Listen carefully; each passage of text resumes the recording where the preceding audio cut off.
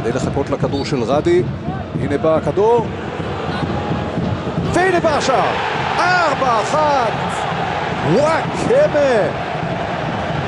באר שבע משיגה בינתיים ב-60 דקות את הארבע אחת מהשבוע שעבר נגד סכנין. זה שער שיכול לשבור את רעננה. הכדור של רדי לעבר הפינה הרחוקה. ינקו לא כל כך הסתדר עם הכדור הראשון, וואקה מחיקה ודחק את זה פנימה, ארבע אחת. רמי, השער השלישי כבר שבר את רעננה.